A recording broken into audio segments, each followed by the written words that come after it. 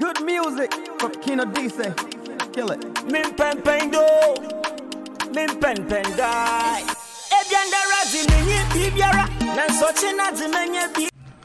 Hello, welcome to my channel once again. Um, today, I am so much happy, and um, this is something that is coming to Ghana, Africa, and I really, really, really like. I'm really, really happy about it because um, it's a film studio, um, something like what Tyler Perry has actually done in the US. Nana Dakrabo is bringing a similar film studio to Ghana. He's building this ultra modern studio in Ghana, and I'm so happy. Please, if you haven't subscribed to my channel, please do so and subscribe to my channel. Don't forget to click on the like button.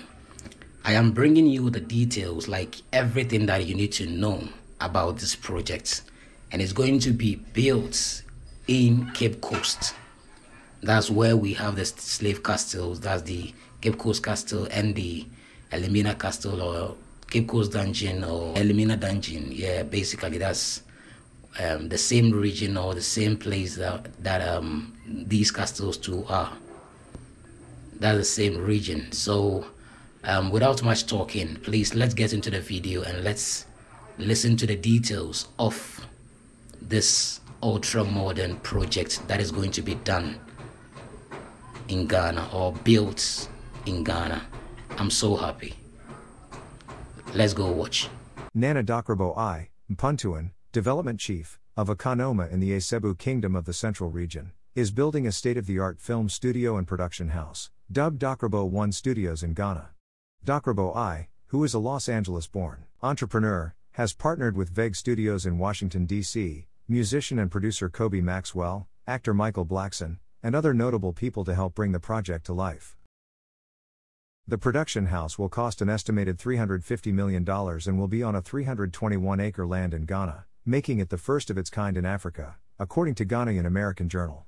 Currently outside of Ghana, Nigeria's Nollywood has become the second largest film industry in the world, producing over 2,500 films and employing over 300,000 people per year.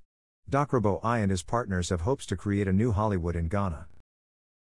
I was born in Los Angeles and raised around celebrities and executives. Essentially, I was raised around Hollywood and now I will bring Hollywood to Ghana, Nana Dakrabo I, who goes by Michael B. Pratt in his private life, said about his plans. Beyond the film studio, I want to see professionals in all creative industries realize their Hollywood dreams without leaving the continent and to see a thriving entertainment industry that attracts talent and attention from all over the world. One of Dakrabo I's partners on the project, Nollywood producer Koby Maxwell, commented a film studio in Ghana will tremendously improve the industry with high quality productions and it will unearth potential and opportunities for the whole world.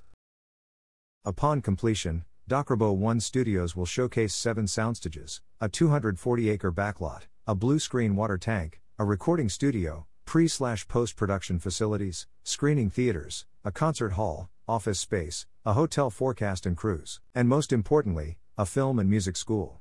The production studio will garner a large number of productions from neighboring countries in an effort to capitalize on the African film market. The studio will also be looking to attract productions from around the world. In regards to the educational offers within the studio, Dakrabo I stated, Our education and technology partners are working together to create an educational experience that allows industry leading educators from Los Angeles to teach virtually in Ghana. It's critical that aspiring professionals are properly trained on best practices and techniques directly from the industry's practitioners. This will allow professionals to create content at a caliber that rivals a Hollywood blockbuster. Furthermore, each building on the studio's campus will be named after an influential African as a way of honoring and celebrating African unity in an effort to move the continent forward. So you see, I'm so happy this project is coming to Africa because we've actually been crying. You know, Nigeria is a very uh, like one of the largest um, or has one of the largest uh, movie industry in Africa or even in the world actually. So bringing something like this in uh, like to Africa and it is coming to Ghana and Nigeria and Ghana, you know the relationship between Nigeria and Ghana. So if something like this is coming here, I'm very sure Africans are going to make use of it so that we can also be producing good movies and um, world class movies basically.